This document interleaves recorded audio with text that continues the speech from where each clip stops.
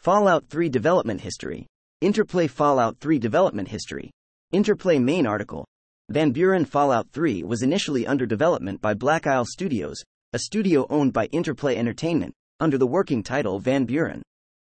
Interplay Entertainment closed down Black Isle Studios before the game could be completed, and the license to develop Fallout 3 was sold for a $1,175,000 minimum guaranteed advance against royalties to Bethesda Softworks, a studio primarily known as the developer of the The Elder Scrolls series. Bethesda's Fallout 3, however, was developed from scratch, using neither Van Buren code nor any other materials created by Black Isle Studios. In May 2007, a playable technology demo of the cancelled project was released to the public. Fallout 3 development history.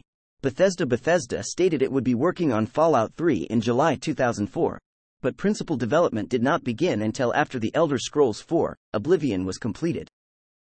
Bethesda announced their intention to make Fallout 3 similar to the previous two games, focusing on nonlinear gameplay, a good story, and true Fallout humor.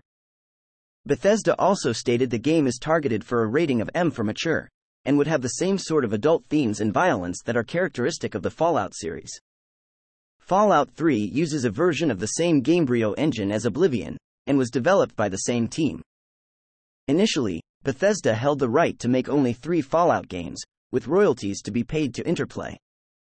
In 2006, Bethesda bought the full Fallout franchise, leaving Interplay the right to make Project V13, between May 2 and June 5, 2007, Bethesda showcased five pieces of concept art by Craig Mullins on the Fallout 3 website during the countdown to the teaser.